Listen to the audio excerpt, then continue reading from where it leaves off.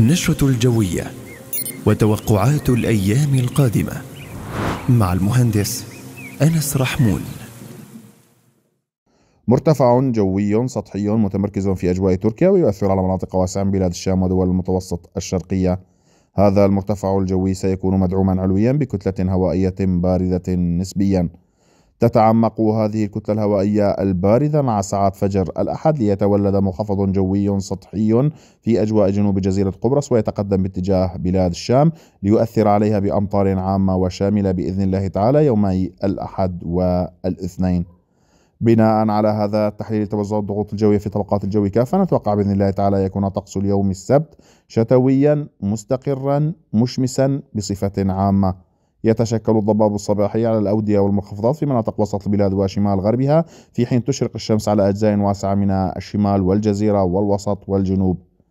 تنتشر مع ساعات الظهيرة بعض السحب المتفرقة على مناطق وسط البلاد وجنوبها لكن تبقى الأجواء مستقرة بصفة عامة. تسجل درجات الحرارة ارتفاعا طفيفا لتلامس 17 درجة مئوية نهارا وتصل ليلا إلى 6 درجات مئوية. تتحرك الرياح الغربية بسرعات متوسطة عند 15 كيلومترا في الساعة. مع ساعات فجر الأحد بمشيئة الله تعالى يتولد منخفض جوي جنوب جزيرة قبرص ويتقدم هذا المنخفض باتجاه المنطقة لتبدأ السحب الممطرة بالتكاثر على المناطق الساحلية والغربية بصفة عامة. تمتد الهطولات المطرية مع ساعات الظهيرة وما بعد لتشمل أجزاء واسعة من شمال غرب البلاد ووسطها وجنوبها. ثم تكتسب الهطولات المطرية صفة العمومية والشمول مع ساعات بعد عصر الأحد وخلال ساعات المساء. تسجل درجات الحرارة نهار أحد انخفاضا طفيفا لتلامس 14 درجة مئوية نهارا وتصل ليلا إلى 5 درجات مئوية. تكون حركة الرياح جنوبية مستقرة عند 5 كيلومترات في الساعة. مع ساعات ليل الأحد الاثنين تصبح الهطولات المطرية أكثر غزارة وانتظاما على أجزاء واسعة من المنطقة ومع ساعات فجر الاثنين وساعات الصباح تصل الهطولات المطرية مناطق الرقة ومناطق شمال شرق البلاد على أجزاء واسعة من الجزيرة. تكون الهطولات المطرية أكثر غزارة مع ساعات الصباح وحتى الظهيرة خلال ساعات نهار الاثنين ليكون الطقس بصفة عامة شتويا ماطرا هطولات متوسطة إلى غزيرة. إذا تكون الأجواء بصفة عامة غائمة شتوية مع انخفاض كبير في درجات الحرارة والتي من المتوقع أن تلامس 9 درجات مئوية نهارا وتصل ليلا إلى 4 درجات مئوية.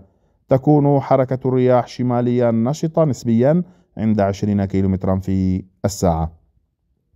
إذا أهم ما يميز طقس الساعات القليلة القادمة هو الأجواء المستقرة اليوم. السبت والتي تتحول إلى ماطرة مع ساعات نهار الأحد وننوه إلى الأجواء الباردة مع الانخفاض الكبير في درجات الحرارة نهار الاثنين حيث ستصل الفرق في درجات الحرارة بين الاثنين والأحد إلى ست درجات مئوية ليكون طقس الاثنين باردا بشكل ملموس مع أمطار عامة على المنطقة بصفة عامة.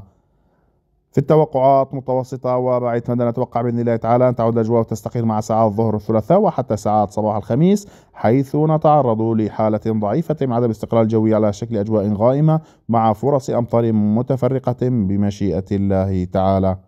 هذا كان كل ما يتعلق بتطورات الحالة الجوية لقادم الأيام. أستودعكم الله. السلام عليكم ورحمة الله وبركاته. النشرة الجوية وتوقعات الأيام القادمة. مع المهندس أنس رحمون.